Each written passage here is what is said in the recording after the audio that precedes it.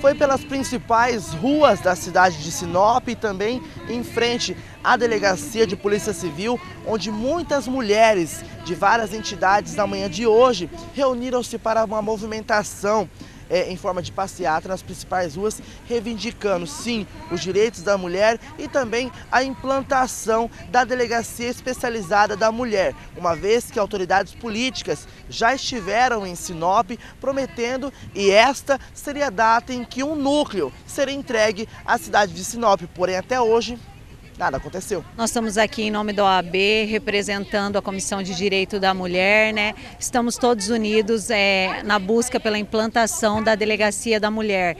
É, já, faz tempos que nós, já faz tempo que nós estamos lutando por isso, é necessário essa implantação. Só no mês de março houve três, três feminicídios aqui praticados na nossa cidade e a implantação se faz é, necessária em caráter de urgência. Agora, a Ordem dos Advogados aqui do, do Brasil, da sede Sinop, tem se preocupado muito quanto à defesa da mulher, né? Sim.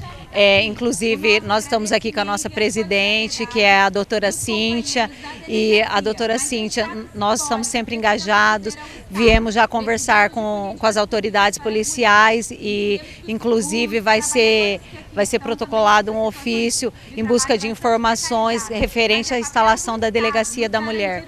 Quem são as pessoas que hoje estão participando deste evento? Hoje quem está participando da Comissão da Mulher sou eu, Priscila e a doutora Cíntia Benini.